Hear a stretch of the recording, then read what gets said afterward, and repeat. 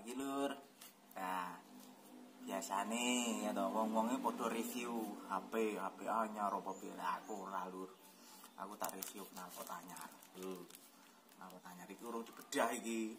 Sik tak mulus mulus tak lus lus iki ya.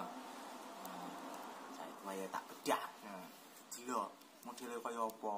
Tapi urung dijajal iki ya. Tidak lur oke. Okay? nah dibedah